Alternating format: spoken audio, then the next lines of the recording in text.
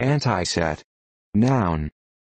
1. Mathematics, any set that transforms via a converse function.